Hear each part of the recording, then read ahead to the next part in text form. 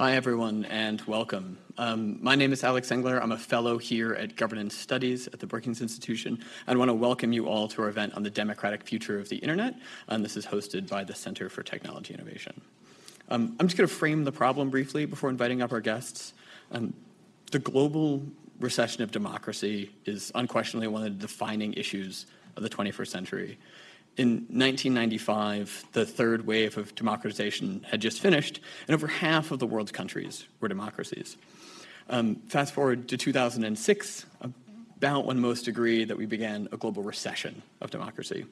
The Varieties of Democracy Index um, says that between 2011 and 2021, the population under autocracy, living under autocracy, Uh, increased from 49 to 71 percent. It's a dramatic increase, and it's not just them. If you look at indices from Freedom House or the Economist Intelligence Unit or International IDEA, all of them suggest a recession of democracy that is accelerating.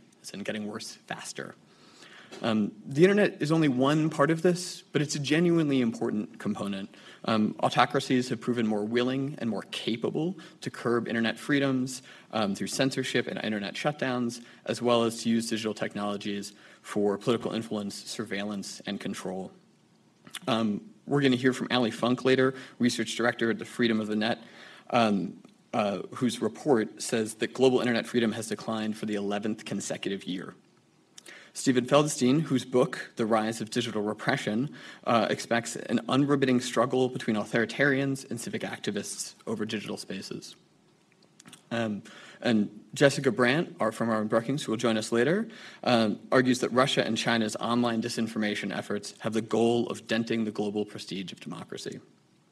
At best, the rise of the internet was contemporaneous with this fall of global democracy, and at worst, it's been contributing to it. And that's what some of the broader research that we're finding today shows.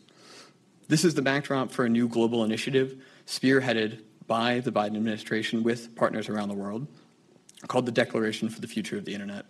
Um, signed by more than 50 countries, the declaration sets forth a code of practice for governance and the use of technology with respect to democratic norms. Its broad vision, aspiring to promote universal internet access, protect human rights, ensure fair economic uh, competition, uh, design secure digital infrastructure, and promote pluralism as well as freedom of expression, um, is important. It's intended to be a reset and refocus on how governments should treat a free, open, and pro democratic internet uh, at a time when it is sorely needed. Uh, to hear more about this declaration, in just a second, um, we're honored to be joined by Tim Wu and Peter Harrell, two of the lead White House architects of the declaration. Um, Peter Harrell is Senior Director for International Economics and Competitiveness at the White House National Security Council, and formerly under the Obama administration, he was the Deputy Assistant Secretary of State for uh, Counter Threat Finance and Sanctions. Um, Tim Wu is Special Assistant to the President for Technology and Competition Policy. Uh, he is uh, formerly a professor at Columbia University Law School, where he's known for his contributions on antitrust and big tech, as well as, quite famously, net neutrality. In just a second, I'll invite Tim Wu onto the stage to introduce uh, the declaration, um, and then we'll have a conversation between Tim, uh, Peter, and myself before that follow up of our other panelists that I mentioned. A quick uh, few logistics. This is being recorded and live streamed. Um, so we welcome uh, further audience uh, participation. You can send questions to events at brookings.edu or via Twitter at brookingsgov. Or if you're in the room, there is a card that you're sitting on will label to, to um, submit questions later on. Uh, and lastly, through the hashtag uh, Future of Internet, also on Twitter. Uh, with that, I'm very happy to welcome Tim Wu onto the stage for his opening remarks.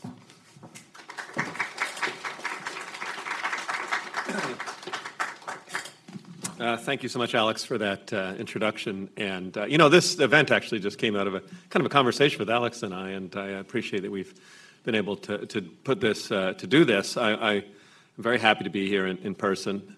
Uh, I think Brookings on the inside said this is the, maybe one of the very first, or maybe the first uh, invent, in-person event they've done in a while. So let's hope we all remember how to do this. um, so I want to again thank Brookings and and offer a few remarks on the Declaration of the Future of the Internet and what we uh, are aspiring uh, to do with it. So, on April 28th of this year, the United States, along with uh, 60, more than 60 partners, uh, launched the Declaration for the Future of the Internet. And it is, in its core, quite, quite simple. The idea is to announce clearly to the world our shared democratic vision for principles for conduct on the internet and for the use of digital technologies. We think this comes at an extraordinarily important time.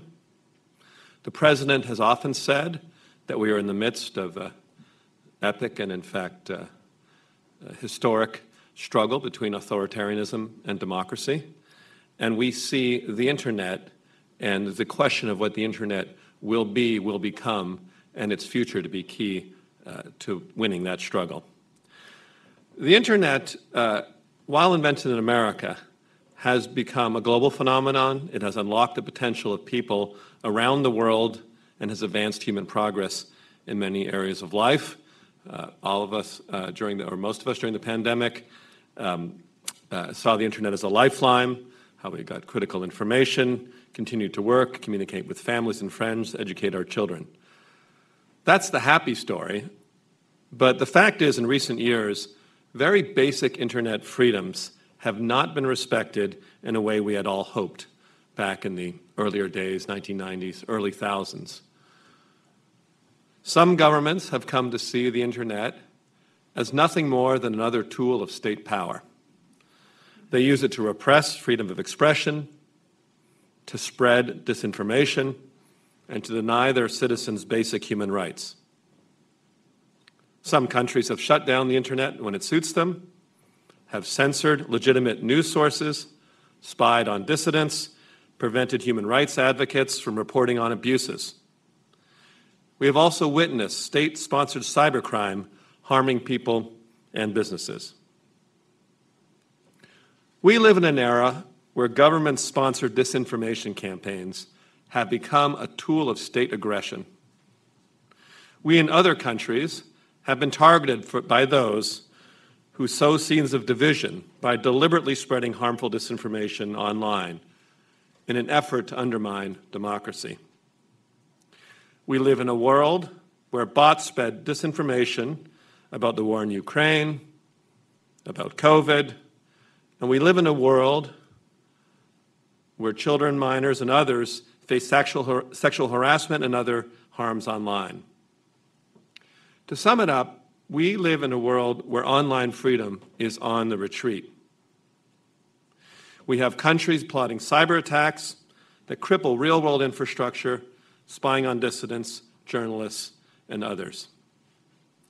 That is why we think it is crucial, and in fact, a strategically essential moment for us working together with partner nations to make the internet better, to make it safer, and to make it the foundation of democracy that it should be. It is key, in our view, that democracies rise to this moment because we need to understand this battle for internet freedoms as, part, as a key part of this larger battle for freedom and democracy more generally. I think anyone who doesn't see in the future of the internet the future of civilization, the future of government, has not seen where the future lies. We cannot neglect the importance of internet freedoms as we confront the rise of authoritarian governments around the world. And these are the reasons it is time to declare fundamental principles. We are affirming, and we did affirm in the Declaration, our commitment to an internet that is open and free, an internet that is global and interoperable, an internet that is reliable and secure. It's important to remember that the first wave of the Internet's history was full of promise and possibility. The dream was of a network that would bring the world together, a sort of common language in Esperanto of network protocols. The second wave held the promise of commerce, but has in many ways become marked by too much inequality, too much use of the network to divide instead of unite. We see the launch and we see this period as part of the beginning and reflecting a third wave of the internet revolution. This administration and our partner nations want to champion a return to the internet that promotes the best of culture, commerce, that connects humanity while remaining respectful of human rights, seeking not to undermine them, and promoting a fairer deal economically for everyone around the world. That is why the Declaration states and endorses a set of key principles that promote our collective vision. They include principles to promote human rights and fundamental freedoms, including online safety for children and young people, promotion of a global internet that advances the free flow of information and advances affordable access to the internet so that all people can benefit from the digital economy. On that last point, I want to add that the Biden administration uh, domestically has done our own part with $65 billion for broadband infrastructure buildouts that are currently uh, beginning to go underway. Another thing we want to do is promote trust in the digital ecosystem through the protection of privacy. The President stated in the State of the Union address that we need to strengthen privacy in this country, strengthen privacy protections, and that is reflected in the DFI as well. We want to protect, I should also emphasize, a multi stakeholder internet governance system that keeps the internet running for the benefit of all. Moving forward, we intend to uphold these principles and encourage citizens, businesses, and civil society organizations to do the same.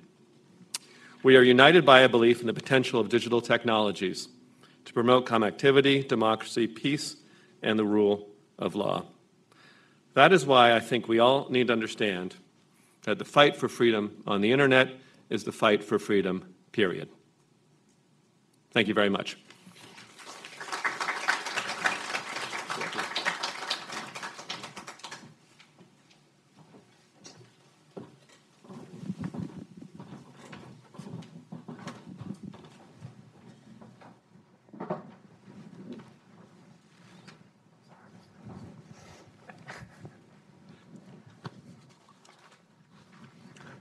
Thanks for that, Tim. Thanks for your comments. Thank you, Peter, for joining us today. Um, so I'm going to start with some questions first about the declaration before zooming out to some of the broader context and challenges and the agenda of the Biden administration. Can you speak a little bit to the criteria and the process for inclusion and invit- invitation for other countries to sign the declaration? And under what future circumstances can you imagine other countries uh, joining? No. Um, thanks a lot, and I want to thank you, Alex and Brookings, for hosting uh, this event. Thanks for coming. Um, really a pleasure for us to be here in person to talk about uh, this initiative, which we obviously launched a couple of months ago, but which we are thrilled to be able to carry forward because this is very much something that, as your question suggests, we uh, are taking uh, are taking forward. And on your question about um, criteria for future membership, I should say actually since launch, we've had a country come in. South Korea uh, joined last mm-hmm. month. Um, uh, while the president uh, was out in Asia, South Korea had kind of been between governments um, uh, at the launch of the, the DFI, but I think the fact that South Korea um, is now in shows our commitment to carrying this uh, carrying this forward and building out um, building out membership. Look, I think we wanted, as Tim's very eloquent opening remarks suggested, we wanted to have a membership and want to have a membership that is both inclusive but also encourages uh, a driving higher of standards. You know, we wanted something, and I think you saw this with the focus, the way in which we got a number of you know, key emerging market countries like Argentina to come in. We wanted something that was not going to be seen as just a sort of club of the G7 or the G7 plus, but a platform that we could use to build out this set of really critical values and commitments to a broader uh, collection of countries from both the global north and the global south. And I think you saw that with the countries that were represented um, at, uh, at launch. Now, obviously, as we were thinking about that inclusive membership, we want members that are prepared to work with us to carry forward the agenda Tim just laid out. So we want countries and have had countries that are prepared to make commitments to respect you know, basic freedoms uh, online, that are prepared to make commitments and have a history of not shutting off you know, major network access um, uh, nodes, not shutting off uh, major uh, platforms, that are prepared to work with us on issues like competition policy and ways in which we can have an economically inclusive uh, internet. So it was really about how do we find countries that you know, are interested both on what they have done and what they've shown they, they, they have done, as well as in kind of their conceptual framework of working with us across all the different areas that Tim laid out and that are reflected in the DFI. If I could just add one thing to that. Uh, when we say we, I just want to emphasize this has been not just the United States, but there's been, uh, you know, the European uh, Union has been uh, uh, uh, one of the foundational partners, along with Japan, Canada, Australia, United Kingdom, and others. And, you know, it has been a joint diplomatic effort. And I think that there is a shared interest in the main democracies in the world that we have a very broad uh, kind of thing, that it not just be, as, as, as, Peter said, sort of a G7 uh, kind of initiative. So I just want to uh, you know, emphasize that this is been a very much from the beginning a joint project. Sure. So you just emphasized the idea of an inclusive project, also trying to drive higher standards. Um, of course, you're going to get many countries that are engaged and want to do that, uh, but no country has a perfect track record on these issues. Um, the declaration is non-binding. How do you examine or how do you expect next steps to come forward um, when countries who are signatories take actions that might break the spirit or the exact writing of the, of the declaration? So I think that's a challenging question for, I think, any um, international regime. The reason the partners are coming together is we want to reverse the current trajectory in the rise of digital authoritarianism and reaffirm the vision of an open, free, uh, and uh, global secure internet. And I think that is, is sort of key to the shared mission. We want to get people aligned on the sense that this is the direction uh, things could, should be going, as opposed to saying, you know, here is sort of like a, a code which, you know, tiny uh, variations will be uh, punished. So I, I think that um, one of the one of the, the, the keys to making this uh, move forward, even as you, as you said, it's non-binding. I think one of the keys to move forward is, is just to, to, to keep the momentum going, uh, add more countries to it, um, uh, keep the conferences, and, and make it. I mean, one of the, the things that I think is so important about these kind of documents is they make it clear to the world what the standards are. You know what I mean? Um, you know, you name any law uh, that's out there, um, it will be uh, any law or any uh, set of principles, and they will be uh, you know, violated by one point or another. Uh, but the question is whether it has this sort of norm setting function where there's a reference point as to what you should and should uh, not be doing. If you want to add to that, Peter.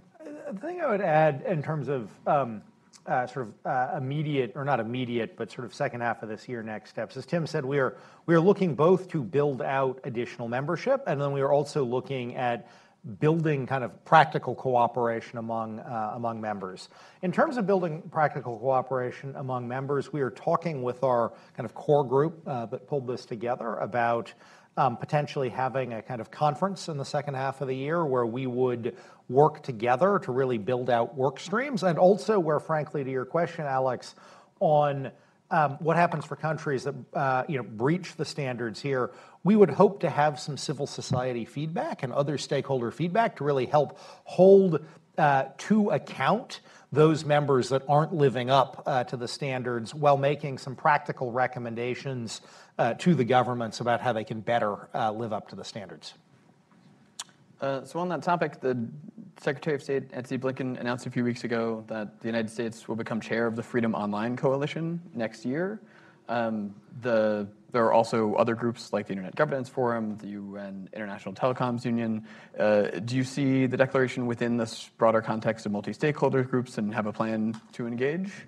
Absolutely. And first, uh, let me say we are we are thrilled um, as uh, the Biden-Harris administration to be the chair of the Freedom Online uh, Coalition next year. Really appreciate the work that Canadians have been doing this year as the chair of the FOC, and look forward to carrying that forward. Look, the DFI, in addition to sort of thinking through DFI-specific next steps um, later this year, we do see as a platform which we can then feed into and leverage in other fora, right? So this is something we can use as the basis for joint statements, for example, at the G7. It's broader than the G7, but we can use as the basis for joint statements at the G7. We can use as the basis for joint statements and joint work in UN bodies. And it is certainly something, if you look at the values uh, in the DFI, that we look forward to working with the FOC to help carry forward uh, large parts of this work. So I think you've expressed a kind of theory of change of the declaration behind the signatories and behind maybe weaker or democracies and hybrid regimes that might aspire to join. I think that you've made a case there. Um, but there are also more adversarial autocracies, especially including Russia and China, among others, um, that are not only accused of being digitally repressive, but of exporting a model of digital authoritarianism. Um, to what extent do you yourselves and the administration see that as a core issue here, or do you consider see that as a what? Sorry, a core issue. Apologies, oh, right. or do you see this more as uh, localized to developments of the use of digital repression within other countries? So, look, I, I think um, from our perspective, it seems pretty clear that repressive governments around the world are learning from one another, one another, are comparing practices uh, and are working in some way to sort of strengthen their alternative model of what the uh, the internet um, what the internet should look like. I mean, you spoke. Um, uh, you know, in your opening uh, remarks about the way in which we are in a recession for democracy globally, and I think that is very much true online. And I do think we, as a coalition of broadly like-minded states, need to be uh, rather aggressively pushing back against a model of digital authoritarianism that we're seeing coming out of China, that we're seeing coming out of Russia. Certainly, the stakes couldn't be higher when you look at what's going on between Russia and Ukraine uh, today. And we see kind of the DFI and getting a broad coalition of countries aligned behind the principles in the DFI across all these different areas values areas of work as an important part of pushing back on that model of digital authoritarianism that we do think is um, unfortunately uh, being spread uh, you know, across um, uh, a dispiriting number of countries. Yeah, I want to add to that. I think that that's exactly right. And let us add you know, sort of a historic note, which is, you know, I think democracies have uh, been at their most successful when they recognize the, the challenge that they're facing uh, from a spreading movement and responding to it. And you know, we've done it before, um, and we can do it again, um, but it, it, requires us to realize what, what's going on. And I think that's part of you know, what, what's happening. And I, I don't want to um, say others haven't. You know, I, there's, as, as, you, you already said, there's, there's measurements of internet freedom and so forth and going on. But sort of moving it to the front of consciousness um, and recognizing you know, issues of internet freedom as, you know, not uh, so much uh, necessarily a sideshow, but really front and central to the, to the, the in some ways, the future of civilization, and um, you know how we will will live in the future is part of what we're trying uh, trying to do here. And I think it's um, important that we very be very strategic in, in our thinking about the challenges in this space, and that's what we're we're doing here. Um, yeah, I mean, I have to echo this point a little bit. Even just reading to prepare for this event, it's hard. The, the gravity of the challenge really does uh, strike you up there with any other, other problem that democracies broadly are facing. Um, because of this, I am assuming that there is a broader set of initiatives coming from the Biden administration on pro uh, democratic internet uh, technologies. You mentioned broadband, you mentioned a commitment to privacy, which we just recently saw a Senate agreement, potentially some path forward on uh, privacy legislation. Are there other um, big? See a Senate agreement. I'd like to see that. Uh, reporting of a Senate agreement, maybe. no, I was uh, sort, of inside, it's sort of an inside joke, but all right. maybe uh, not a not a good one. Uh, not not what I'm inside of, but yeah. um, so are there a bunch of other Uh, initiatives and proposals that you're you're looking to from the Biden administration or, or from Congress? Do you want us to tell you about the secret proposals that we haven't told anyone about? well, so I don't know. Maybe Peter, if you want. To. No, I, I, I, actually see others that are related. I could name yeah. them, but I'm wondering if you if you sort of what your perception is of what the Biden administration is doing, how much of its efforts are for democratic preservation around the world, around the internet freedom specifically. You want to talk some domestically, Tim? And then yeah, well, maybe I'll talk about the, uh, uh, the, the, domestic uh, front as well. I'm first of all curious to see your list and mm. see how it compares to our list because mm-hmm. I'm, I'm interested to see. Uh, you know, one thing I'll notice about working in the, the White House is there's a gap between what you think you're saying and what people are hearing, which um, I don't know why that is, but you know what I mean? It's just like kind of like we, what, uh, and I'm, I'm always fascinated and interested to hear how we're, uh, what we're doing is being, is being heard. But I, I want to say that, you know, on the, on the domestic side, you know, this administration uh, from the beginning has thought that in order to uh, preserve a democracy at home, that we also have to be um, serious about some of the challenges we're facing on the domestic uh, tech front. Um, one of the things, as I said, the president spoke in the State of the Union about the need for strong city privacies gen- generally, also spoke on the need for strong uh, protection of, of children and young people.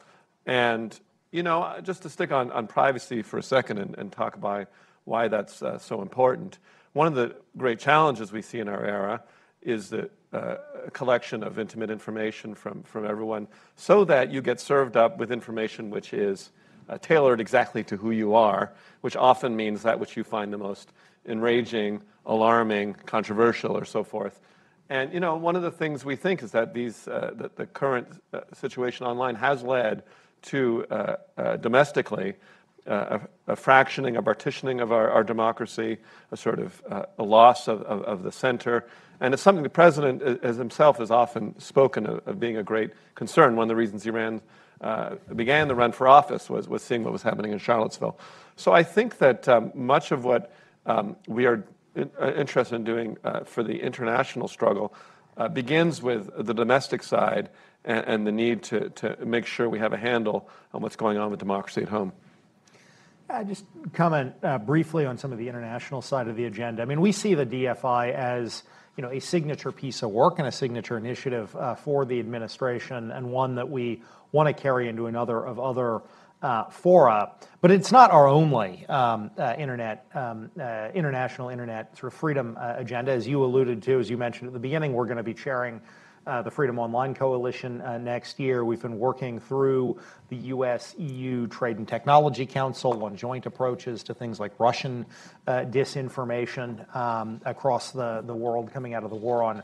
Uh, war on uh, on Ukraine. We obviously are pushing very hard for uh, Doreen Bogdan Martin to take over um, as head of the ITU in the current election. So we're really, you know, we have a stream of work that's about kind of elevating our profile and our role in multilateral, relevant multilateral organizations. And then we're looking at ways we can use different existing fora to carry forward different aspects of the values that are reflected in the DFI as appropriate in those different uh, fora. And then, of course, you know, we launched the, the DFI a little bit um, parallel to the President's Democracy Summit in December. We obviously launched it several months uh, later, which gave us a chance to have kind of more of a freestanding uh, launch for this and also reflected the way in which the, DFI really is, as Tim said in his opening remarks, something that we have done in partnership uh, with a couple of core allies, more than just this being an American um, initiative.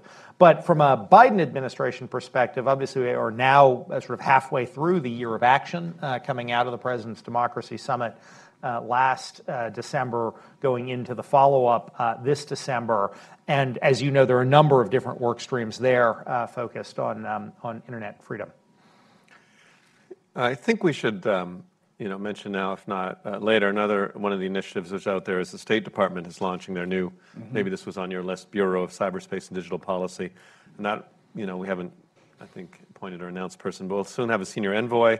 Uh, and there's a, you know, a spot for internet free, internet freedom. So I, I think, you know, I don't want to suggest this all the White House. There's a, a significant stuff out of both State Department, uh, USAID is, uh, you know, the has a, a number of initiatives that uh, uh, that uh, Sam Power was talking has been talking about lately. So there, it is. I want to emphasize not just White House, but I think an, an administration-wide effort to tackle this serious question surrounding internet freedom and democracy. Sure. Speaking of the uh, State Department, Antony Blinken very recently um, said that we need to get anti-censorship tech into the hands that need it, which I think is a, in the spirit of what we've been talking about today. Um, recently, there's also been some reporting suggesting that the Open Technology Fund, which funds and supports the building of anti-censorship and free internet access tools, has received more funding from the United States. Do you see those developments as related as part of the sort of broader strategy?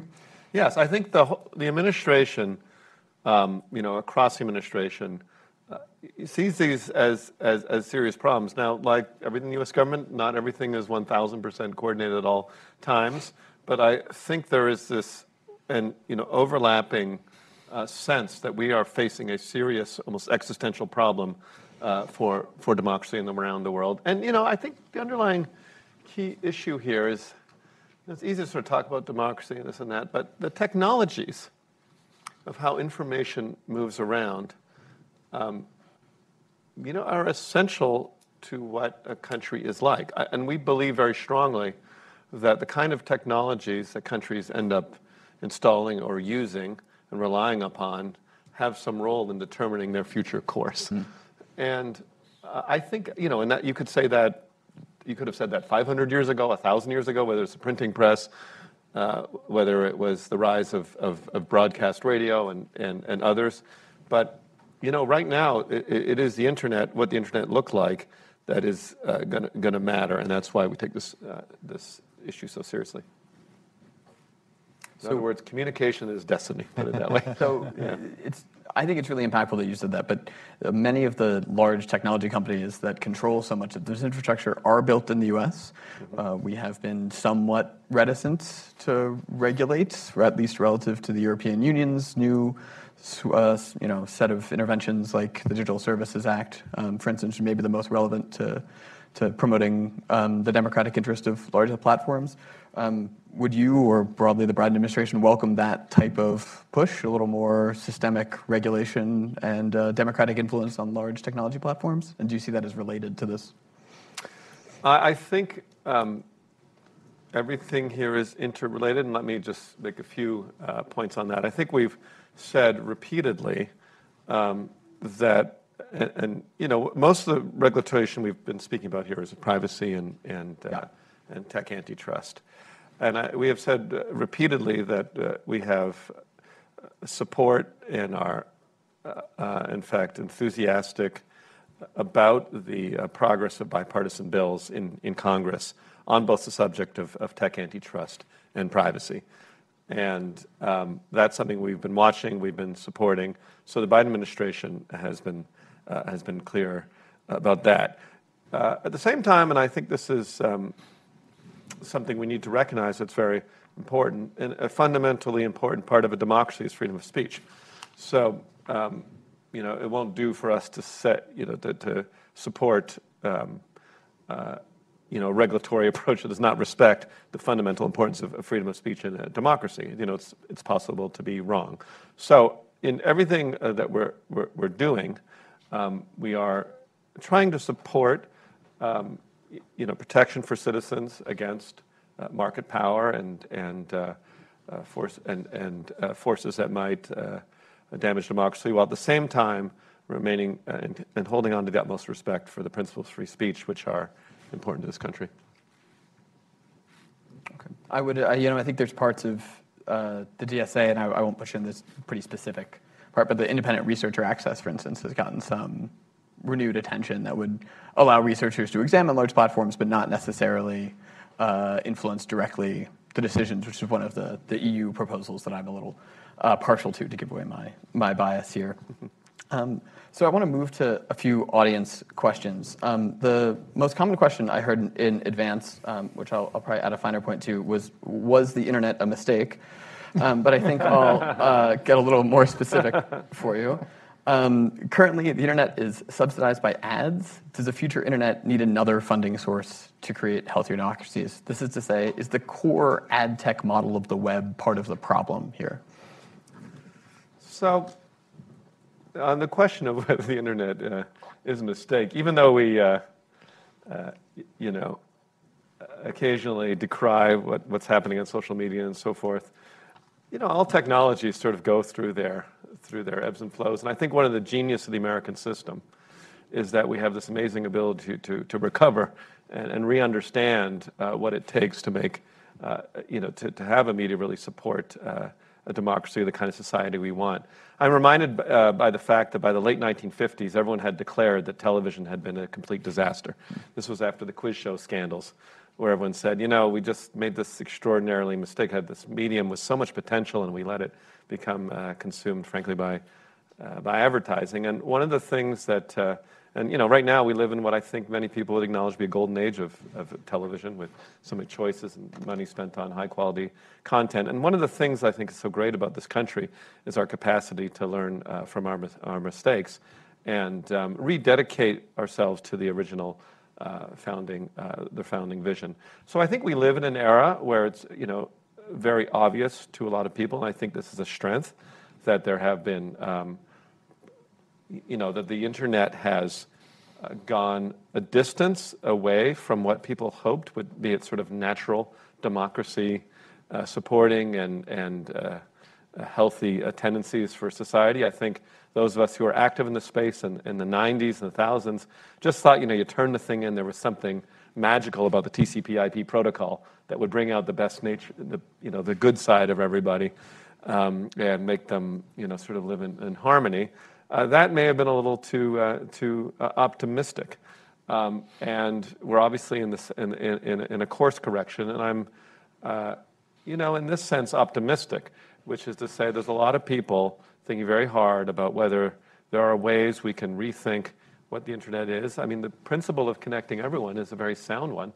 Um, but are there ways we can, uh, you know, as a society, work together to make it healthier, better? And that involves government, that involves major companies, that involves stakeholders, all of us, in trying to envision how the internet uh, can be better and support the values we believe in.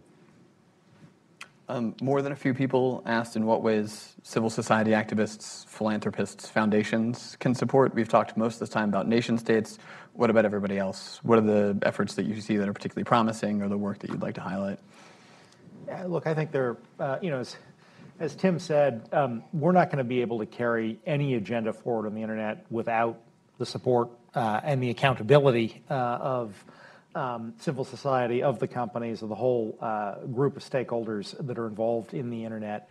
Um, look, I think for civil society, the kind of research that civil society, look, government is not going to be well positioned, for example, to do the kind of work on tracking is there a recession in freedom online that civil society can do, right? There's just some things that you need the kind of independence of civil society organizations to do. I think that's true in the research front. I think that is true on holding governments to account to make sure that we have lived uh, up to our commitments. And of course, philanthropists, I think, can be very involved in funding some of those efforts and also helping connect people online. I mean, the other thing, part of our DFI you know, there are like 3 billion people who are still not online. So when we talk about connecting all of humanity, we're only at maybe, what, 60% uh, or so uh, of humanity is connected. I think that's another huge uh, area of work over the next some years.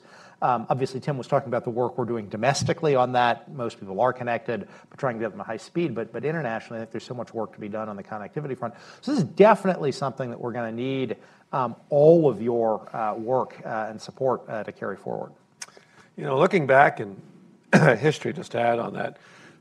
the internet uh, itself, when it was the ARPANET um, back in the 70s when um, I was a young man, just kidding, then uh, the, uh, back, back in, in, its, uh, in its founding era, you know, it was a government-funded project, but it was um, uh, the, the, principal researchers were, were in academia and in industry, and um, uh, and, and, it was and you know their efforts to, to build this supported by government is what made the United States the inventor of the internet, but it then uh, had significant uh, moments where it wouldn't have gone forward without you know, civil society getting uh, involved in various ways, researchers, and then ultimately uh, industry when the internet finally became commercial in the 1990s, um, pioneering new interests. So there is uh, in, in history a successful model uh, for how almost every part of society can work together. And I guess the, what I'd say is we need to figure out what everyone uh, does best.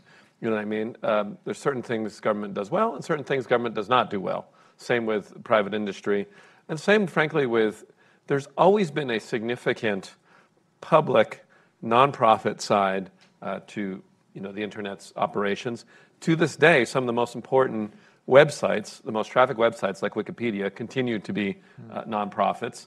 Um, and when you think of other media like radio and television, you've had important nonprofit roles. And I think one question that we should move forward is whether that you know, nonprofit uh, side of the internet is something that uh, uh, we need to, to, make sure is always strong and vibrant the way it has been on other, on other media. Yeah, but more, we need all, everything to be sort of in balance. More Wikipedias would yeah. be nice. We're really here to restore balance to the force, you know. sure, a totally accessible goal. Um, I want to thank both of you. Any parting thoughts? We have just a minute before we switch over to our reaction panelists. Any uh, last thoughts? My feeling is we can do it.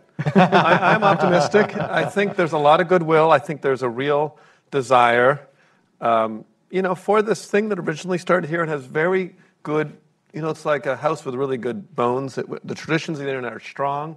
They're rooted in, an idea of, of, free speech, of democracy, of, of, trying to build a society that is uh, fundamentally uh, for, for the people. And it's always been a very decentralized medium. It was born to be that way.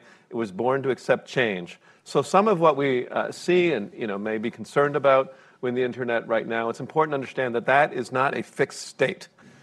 You, you know what I mean? That this was designed from the beginning to be a, a, a, a, network of networks, a flexible medium, something that can be the best of human aspirations. And we need to turn that corner and have the future that we want. Okay, ending on a positive note. Tim Wu and Peter Harrell, thank you so much for joining us today.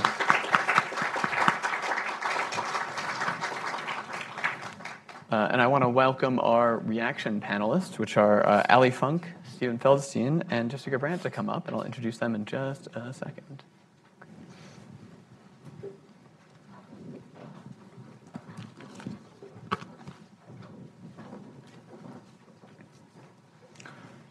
Okay, so we're going to move on to the second part. We have a really excellent reaction panel um, to talk about what we just heard and the broader state of digital repression. Immediately to my left is um, uh, closest to me um, is uh, researcher Allie Funk, who's research director at Freedom House. Um, she leads the Technology and Democracy Initiative there.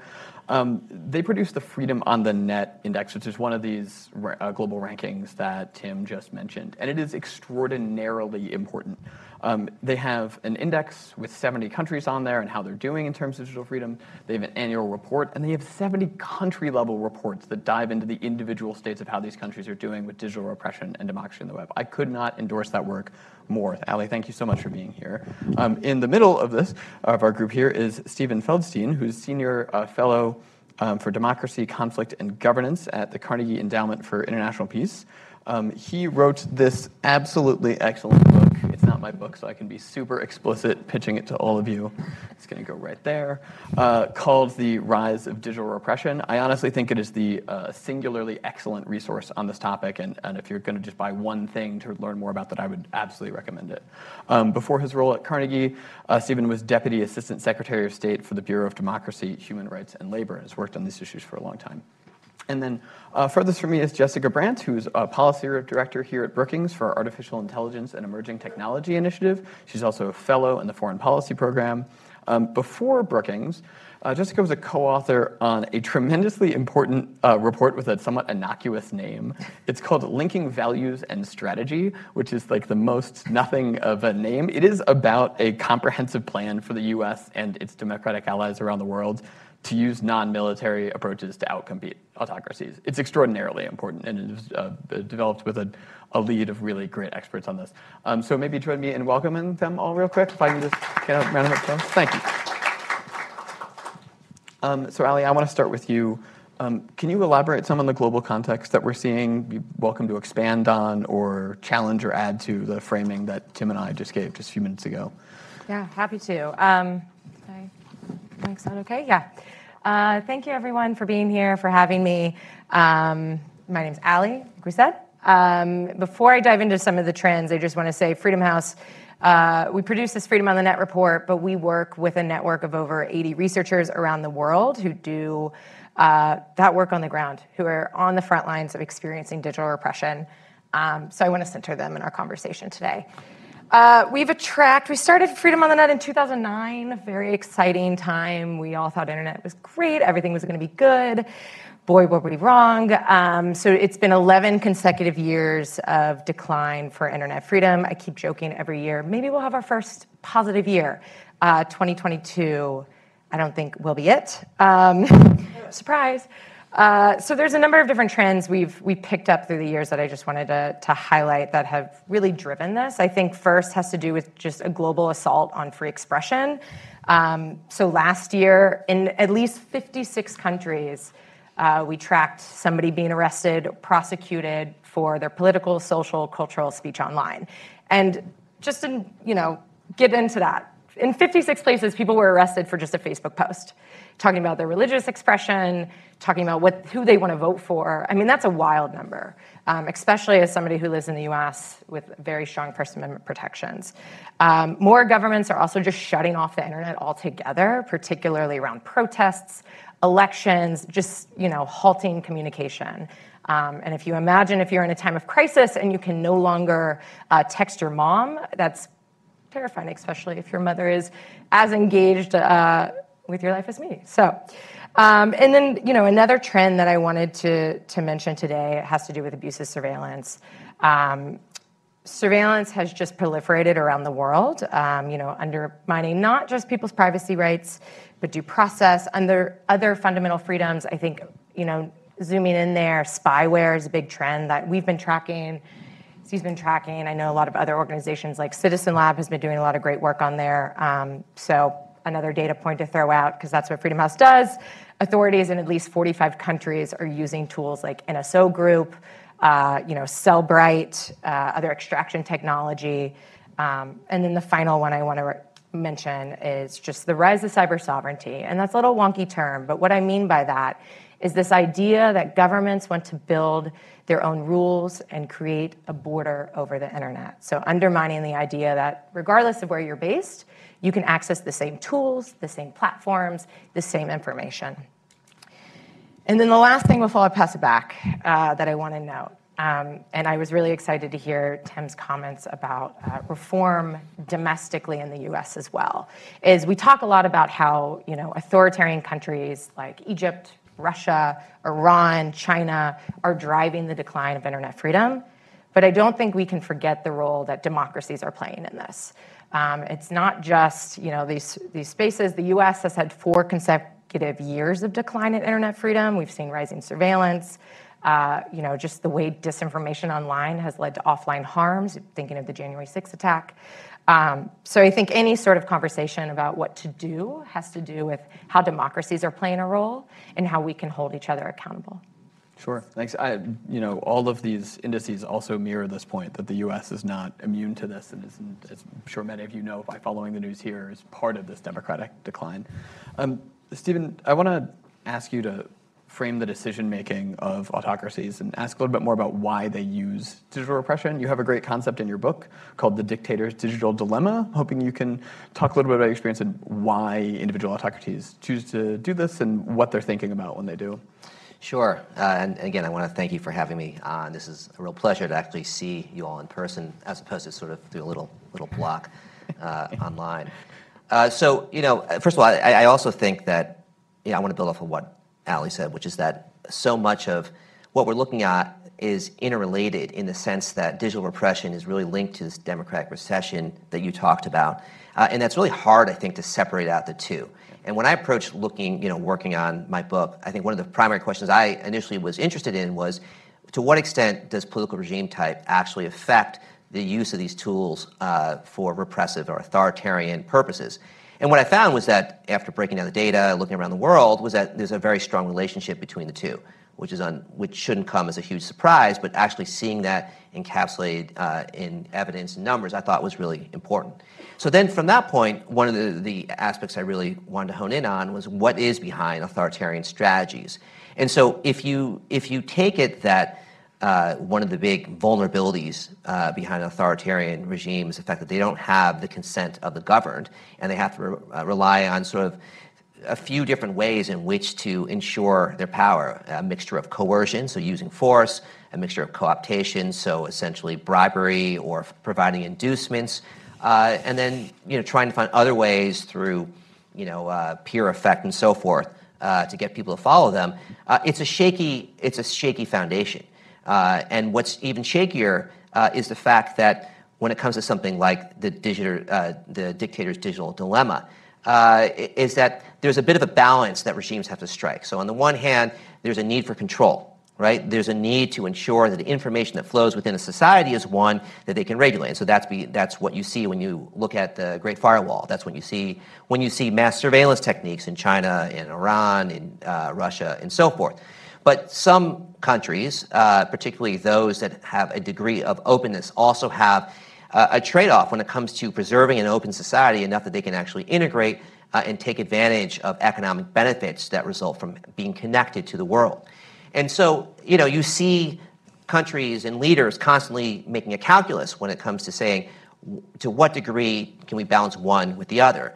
Certain countries have decided control is the most paramount thing that's, that's necessary. So, in Iran, for example, uh, there is a willingness to forego the benefits, the economic benefits of uh, global integration uh, because maintaining that control is so important.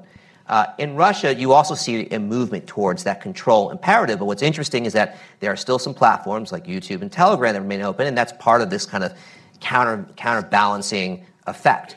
Uh, and then other places like India, you see a real struggle where, uh, on the one hand, there is a desire and a push to constrain and limit information, but on the other hand, so much of the dynamism behind society and the economy in India is built upon uh, this linkage uh, to the to the global to the outside world, and so uh, there is sort of a built-in constraint in terms of how much Modi or others are willing to push uh, this, and so that's where the dilemma comes in.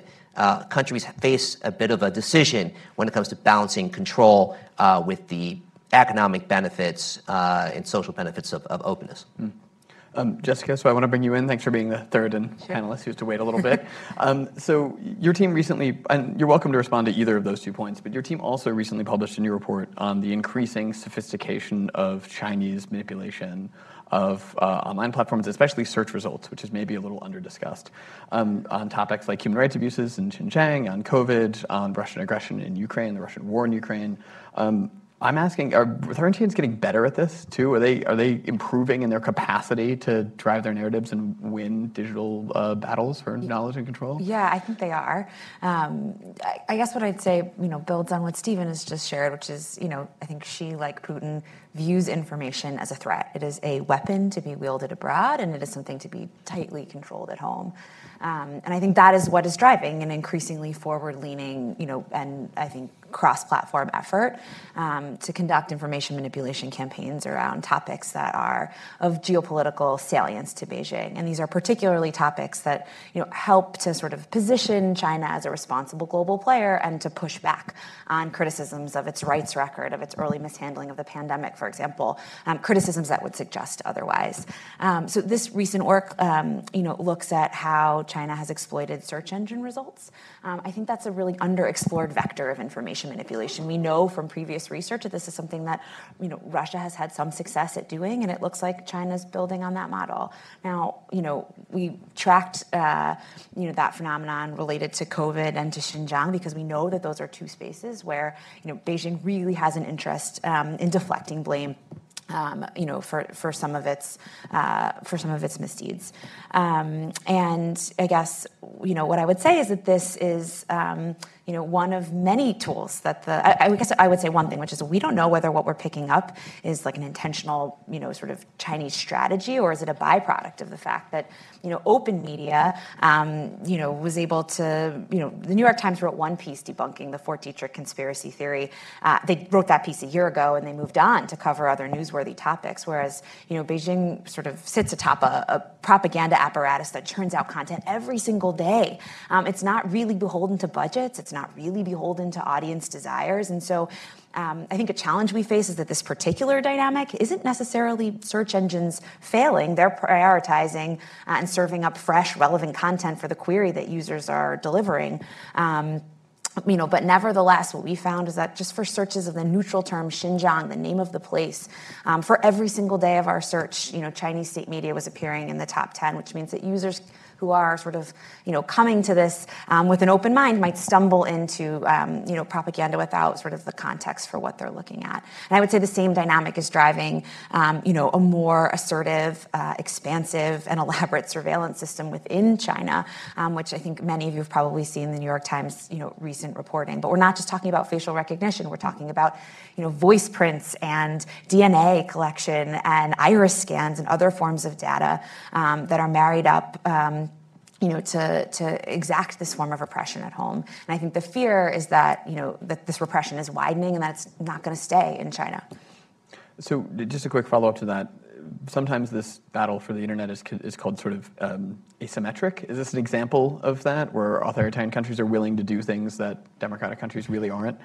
Yeah, I think this is a key asymmetry. I mean, I think authoritarian regimes recognize that open information environments, I think, while they confer tremendous strengths on democratic societies over the long run, um, in the near term, there are you know certain vulnerabilities, right? I mean, democracies depend on the idea that the truth is knowable and that citizens can discern it and use it to make decisions for self-governance. And autocrats have no such need for a healthy information space to thrive. So I think what this means is that you know democracies are somewhat constrained by norms and also, I think, uh, an appropriate desire to protect their own information environments that make make it much harder um, for them to carry out the kinds of activities that you know uh, authoritarian regimes are quite capable in the short term. Right? There's virtually no normative constraints online. The platforms don't, you know, they're American companies, they're not Chinese companies.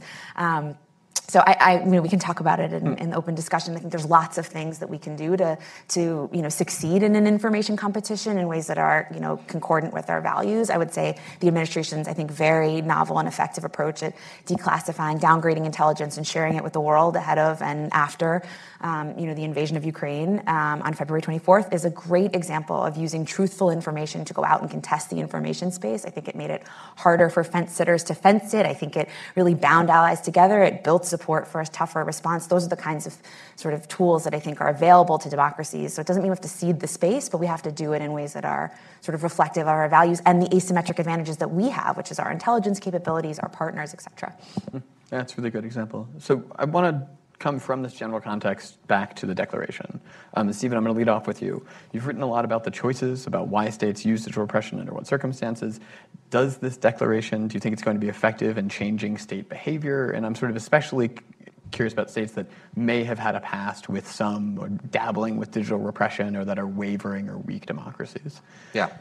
No, good question. Um, look, I, I think it's a really important first start. Uh, I do, and and you know, I, one of the things I mention a lot in my writing and book uh, is idea that you have to establish norms, and I think this is an area where we've let those dissipate, we've let those break down, and I think part of the problem is the fact that within democracies themselves, you see a real qu- uh, erosion in the quality of governance. Uh, particularly in liberal democracies, right? So whether it's the United States and on a host of, of different issues, or weaker democracies where we've seen pretty troubling, um, you know, uh, diminishments of free speech uh, and so forth.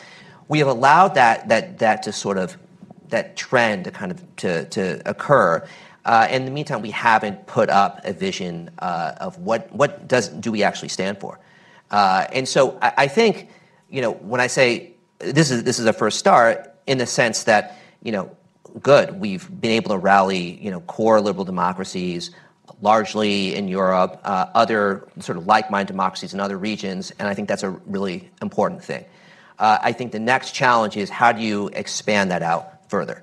Uh, you know, what about India, Brazil, Nigeria, South Africa, and so forth? Uh, you know, is there a way to bring them in to uh, subscribe to these principles while ensuring that they, they, they don't actually dilute them? And with India, uh, and with prior G7 statements on internet shutdowns, for example, we've seen, at least in the back room, where there is a willingness uh, uh, on their part, whether it's India or other weaker democracies, to, to tamp down standards that I think are important. So that will be a challenge. Mm. I think the other uh, aspect to this that, that's also uh, important uh, is, is sort of saying, okay, look, we have, you know, what do we, what do we do next to operationalize it, to make it real, right? We have you know, high concept standards that are important that people subscribe to. Well, what does it mean in terms of those that uh, flout them willingly? Uh, what does it mean when it comes to fence-sitting countries that uh, are sort of, well, maybe we're interested, but you know, we see things a different way. There's a whole kind of sovereignty push these days when it comes to the country saying,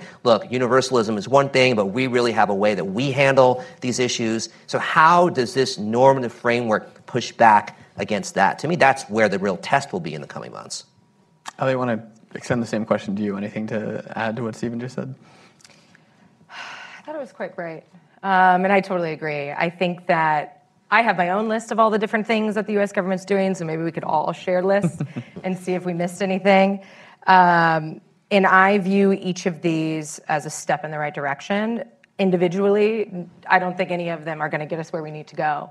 But together, they're pushing that needle. And I think this is where, as wearing my civil society hat, is what is our role then to, to hold signatories to account? Um, I'm talking civil society broadly here, global civil society. How can we play a role in holding signatories to account? Uh, how can we then work with other multi-stakeholder networks like the Global Network Initiative in which companies, tech companies are part of that in thinking about how to protect free expression and privacy. Um, so taking that multi-stakeholderism and putting it into action. Sure. So, and we've did this a few times, so maybe I maybe I should just say it. There is sort of a broader scope of initiatives and coming from the Biden administration that you might think are, are related. And I want to uh, to talk to you guys more about those. I see things like supporting privacy enhancing technologies, for which there's a U.S. EU and U.S. UK uh, agreement to do, um, the EU-US one being through the Trade and Technology Council. Um, I mentioned the Open Tech Fund, which is supporting VPNs and peer-to-peer internet that are exploding in use right now in Russia.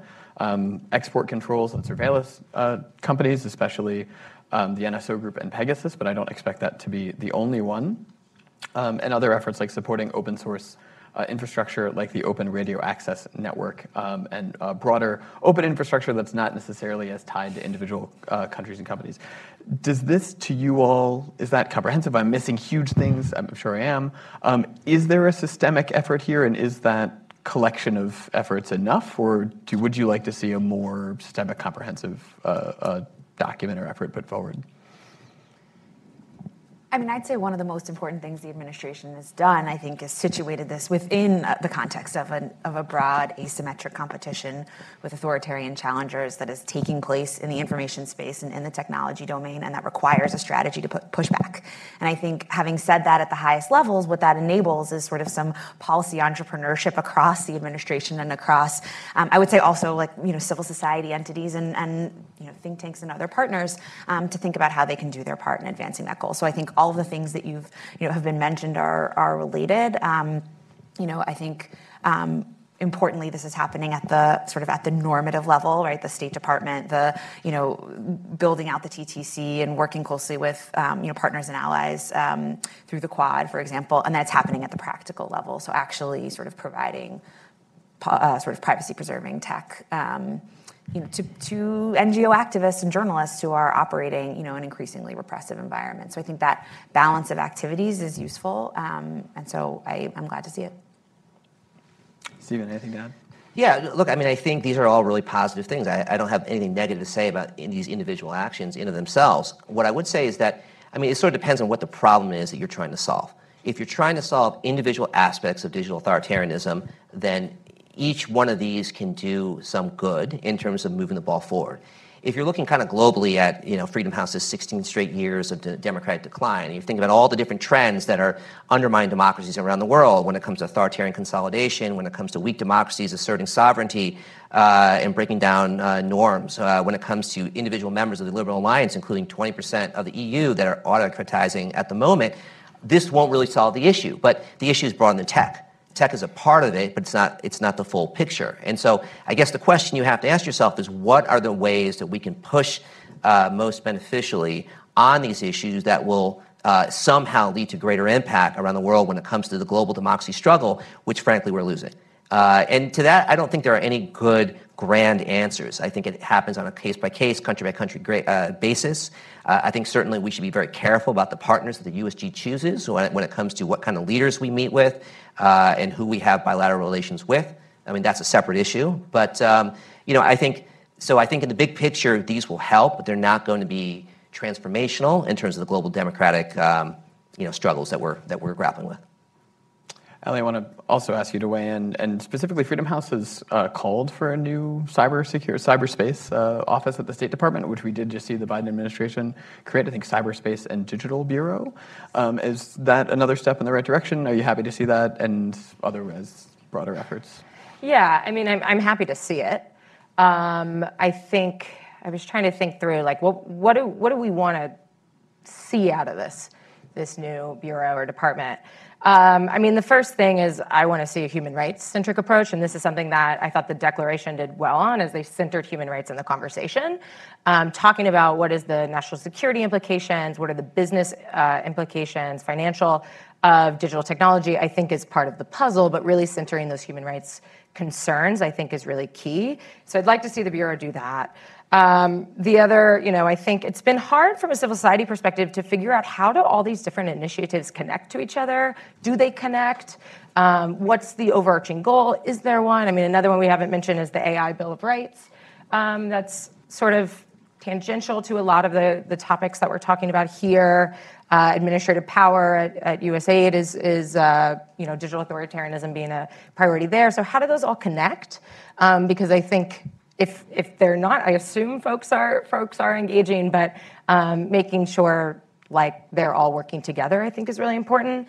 And then the last thing, you know, I think that's really key, and I've mentioned in a previous answer, and I will continue to to bring up is meaningful multi-stakeholderism. So actually building formalized processes in which global civil society, particularly those in the global south, can engage with the center um, and give feedback on the things that they're doing. And then making sure that that feedback, they're actually working on it and responding to it.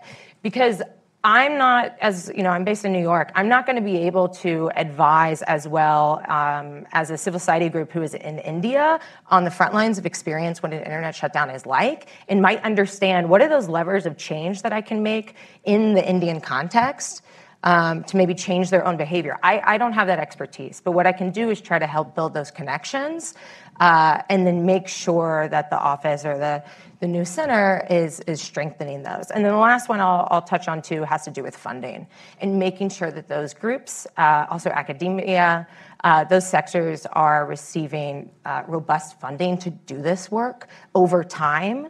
Um, you know, there's the anti-censorship, the anti-surveillance tools that you know folks right now in Russia are really relying on but also things of like strategic litigation. That's been a really effective tool of pushing back against some problematic censorship and surveillance laws. Um, Indonesia is an example of where that's worked. So funding for these things that we know work, mm. uh, we just need to get the resources to the people who need them. Yeah, that's a great point. There's there's been a lot of discussion around funding of anti-surveillance and anti-authoritarian tools, right? Which is a line of research that is not as well funded as pro-authoritarian tools, especially because surveillance and ad money go hand in hand. Uh, and so it's nice to hear not only about the technology, but also about the, the civil society uh, funding as well. Um, I want to go towards the corporate side of this. And Jessica, maybe I'll start with you. Um, you've been looking into research uh, on autocracies and how they manipulate online platforms, largely or significantly held by um, countries in the West, though, though not always. Are they doing enough internally to combat um, authoritarian use? Do you think we need them to take a step up? Do you think there are legal or regulatory developments necessary to uh, ask them or require them to do more? Yeah, great question. I think I'd sort of bucket out the private sector and talk and think about sort of platforms as one bucket and, and other sort of U.S. technology firms uh, in another mm-hmm. category. Mm-hmm. I mean, I think the most important thing we need from technology from uh, platform companies is to make transparency the norm, um, and that means you know with trusted researchers. Um, I think there's um, you know some promising efforts underway to try to think through how we can square the circle and accommodate privacy concerns um, with getting researchers the information they need to answer some really you know sort of foundational questions about how social media platforms are shaping our information environment, and then also transparency with users. So when it comes to you know sort of um, dealing with state-backed propaganda, uh, I think labeling and you know sort of providing context is, is one of the most important measures. I'm actually really not in favor of the outright banning of state media, even Russian state media, and even at the request of European governments. I think um, outright bans on certain forms of content at the request of governments is a very slippery slope, and it's not necessary when there are other tools like de-amplifying, demonetizing, and labeling. Um, on the sort of in the other bucket, I would say, you know, I just would like to see US technology firms, and I would say actually also like research institutions, being thoughtful and doing their due diligence to make sure, um, you know, that they're not unwillingly participating um, in China's Orwellian surveillance state. I mean, it was not that long ago that MIT was, you know, revealed to have partnerships with, uh, I think it was SenseTime and uh, iFlyTek. I mean, these are sort of Chinese companies that are, you know, um, have uh, played a role in um, in the, you know, I think oppression of Uyghur minorities um, in China in a way that I think you know we would all find aberrant. Now, I think those partnerships have been uh, you know unwound, but I think it just speaks to the importance of really uh, upping due diligence. Steven, uh, same-ish question to you on the role of companies. Do they have a role here, especially in changing the uh, pattern of thinking around this digital uh, dictator's digital dilemma? Can they raise the cost of digital repression from the corporate side of this? Yeah, actually, you know, let me just tell you a few things that worry me on the private sector side. Mm. Uh, so one thing that worries me uh, is the lack of transparency from uh, platforms like Telegram, TikTok, and to some extent YouTube when it comes to their uh, how how widely they operate and how little they actually are accountable uh, when it comes to the type of information that is circulated. I would particularly say uh, with TikTok, uh, that's that's an area, and it, it's it's a platform that you know is fairly recent in terms of its uptake. When it comes to the Ukrainian war in particular, and the fact that it does remain operative in Russia, but it censors on any material linked to the Ukrainian war, I think we see a, lot of this sort of. Um, we, see them dodging around issues that other platforms are forced to to be accountable for. So that's one thing. I think the second thing is that we've seen improved behavior from platforms when it comes to a range of digital authoritarianism, political issues worldwide. One of the things that we continue to see problems with is elections, uh, particularly elections that are viewed as lower priority uh, for these companies. Uh, so, you know, look at Kenya uh, uh, upcoming.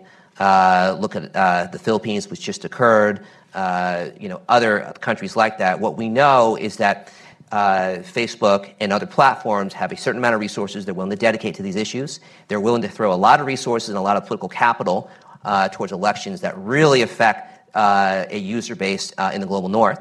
But when it comes to other countries, uh, they will sort of do haphazard measures, but they really won't push forward on that. To me, that's a big gap. That's a big problem as well. Also, countries they're more afraid of passing regulatory uh, laws. Sure, right. And then I think that's a, that links to a third issue, which is that there ought to be a way to sync up a better uh, balance uh, so that when uh, platforms are faced with making hard decisions, if you know to the extent that they have or know that they have the backing of the USG, I think that can help. And so, you know, Russia, they were ultimately forced into a series of decisions because of political events. There are many other places, like let's say Vietnam, where maybe there's a way for a greater amount of conversation to occur quietly between platforms and USG in terms of what's a coordinated policy when it comes to these freedom of expression issues that matters and makes sense. And, and what's a steer that we could give these companies in terms of how they balance uh, you know, massive takedown requests from the, you know, the Communist Party in Vietnam uh, you know, with balancing the fact that they do want to remain in country, and that does matter. Allie, any quick thoughts? Then we're going to jump to audience questions. Quick Thank thought, you. I think, is um, underlying both the comments we just heard is there's really no one size fits all. All the, different platforms have different risks. You know, if the platform is owned by a Chinese company, then that platform or that company is going to be held to really onerous data localization policies in China, really onerous surveillance, uh, censorship requirements. If its own VK, a Russian social media platform owned by a Putin ally, may then be more likely to censor content about the uh, invasion of Ukraine. Um, so I think understanding that we shouldn't treat every tech company the same is really, really important. Um, and then designing regulation around those different nuances is key. And then also the context. The way we might want to advocate for Twitter or Facebook to respond to a request in one country might actually be different than to another country based on the needs of folks. On the ground or who live there. Um, and this is something we hear from our partners all the time of like, you really need to think about the context. Um, so I just thought I would underscore that. Sure. Um, so audience question, I'm going to direct it to Jessica first, and but you're welcome to uh, either uh, Steven or Allie jump in. Um, studies earlier in the decade, in the 2010s, on Chinese internet censorship used to find some degree of freedom of expression, and this was key to the CCP's authoritarian resilience. Has this changed? Has it become more uh, repressive in the last decade? Yeah. It's a great question. I think this is called diffusion proofing, right? It's sort of, there's a lot of evidence that authoritarian regimes are becoming more resilient in part because they're adopting some of the sort of, at least the patina of democratic, um, sort of of democratic infrastructure, right? So creating some managed or controlled space you know, for expression, and that this has sort of contributed to the rising um, durability and longevity of personalist regimes. Um, so I think you know you're I think you're picking up on a phenomenon that's absolutely correct. I do have a sense that the repression is increasing, um, and I think the um, vast amount of evidence that the you know the sort of repressive the instruments of power that would enable the state to go farther in its repression um, the, the, state is building those tools um, and is you know des- and desires to go further so my, my worry is about you know I think I think we've moved in the wrong direction and I fear that what we're watching is the state preparing itself to go even farther. Early, any thoughts on that? Just add one point, which is that, you know, we've been uh, speculating for a while what would happen when it, when it came to the COVID pandemic and some of the different QR codes and so forth that would be used and whether those would be exploited. And we haven't seen as much evidence as that as we feared. But in China now, we're actually starting to see that uh, take place. And I think most recently, uh, you know, where there were planned protests, they used QR codes to suddenly turn people's phones from green to red in terms of basically saying because you now have COVID or you're infected, you, you can't go attend this protest. That's anecdotal. That's one. I don't know if this is going to become uh, you know something that happens on a mass scale. Uh, but I also don't know of all the different other times something like this is already occurring in which we have no information.